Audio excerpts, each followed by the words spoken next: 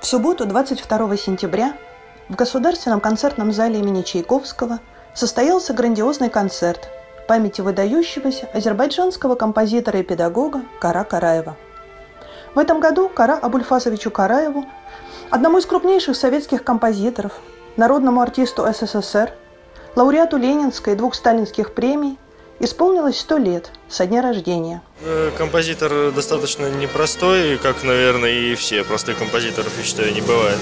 Действительно, поначалу надо было разобраться, но очень э, интересная, яркая, образная музыка, вот, которые не лежат на поверхности, но, тем не менее, являются интересными для того, чтобы их найти.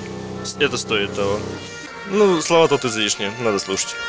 Произведение Кара Караева симфонические гравюры «Дон Кихот», симфонию номер три, концерты для скрипки с оркестром, композицию «Тропою грома» исполнил Государственный академический Большой симфонический оркестр имени Петра Ильича Чайковского.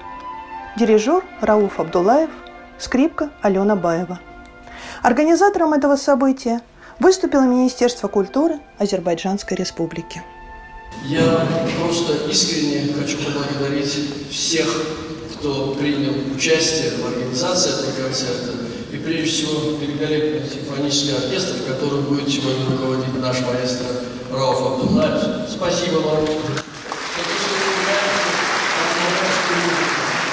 Для нас сегодняшний вечер – это э, не только чествование столетия азербайджанского композитора. Сегодня это вечер уважения культур, уважения деятелям культуры, которые оставили след в истории тогда еще одной, а ныне разных стран.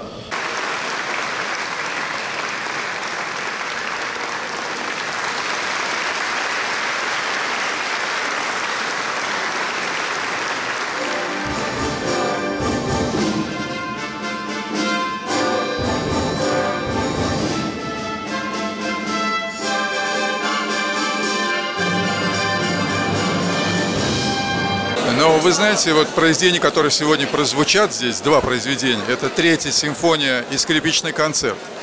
Это, на мой взгляд, вершины творчества Карабуль Фасча. Это то, к чему он шел, в принципе, всю свою сознательную жизнь. Если до этого в его жизни был период э, условного соцреализма, и человек, который очень много сделал и очень интересного, очень много необычного, парадоксального и в плане синтеза Европы, Востока, Азербайджана и России, то э, скрипичный концерт и третья симфония, как вы знаете, написанные посредством в то время одной из самых формальных техник, формалистических, додекафония, э, вызвал очень неоднозначную реакцию.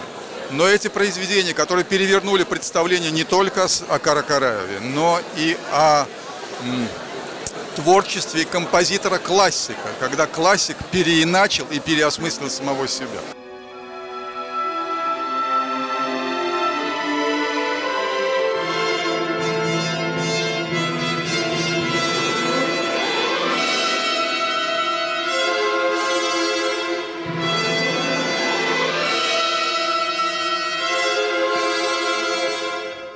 Когда э, говоришь о Каракараева, невозможно не говорить о Таир Салахова. Так же обратно. Э, творчество Таир Салахова как, как будто связано музыкой Каракараева.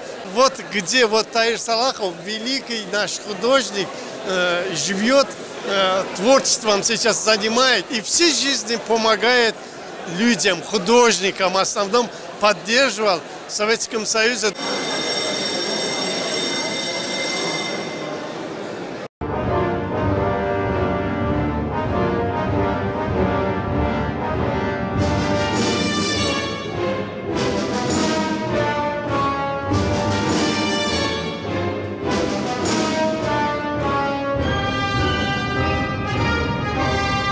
Здесь на концерте сегодня присутствует наша молодежь. А молодежь не только из Москвы, но и из регионов. Безусловно, для нас это важное событие, столетие э, Каракараева. Все знают, э, как и в Азербайджане, так и в России, и наши соотечественники, а также друзья наши, э, которым мы э, время от времени э, по, на различных мероприятиях демонстрируем нашу культуру, музыку, искусство.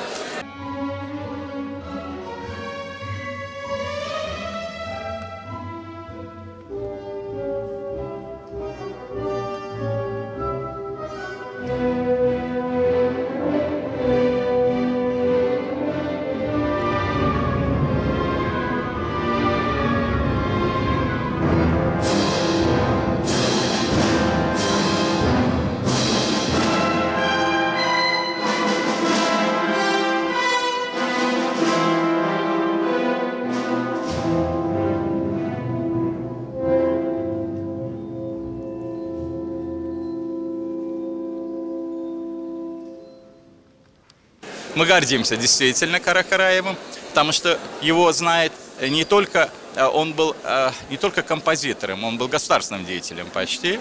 В свое время он был депутатом Верховного Совета, активно общественную работу проводил. У него очень много воспитанников. Один из них сейчас как раз руководит консерваторией в Азербайджане, по-моему. Да, я думаю, что он не только, кстати говоря, классику писал, у него очень хорошие есть такие песни, да, шлягеры, которые да, до сих пор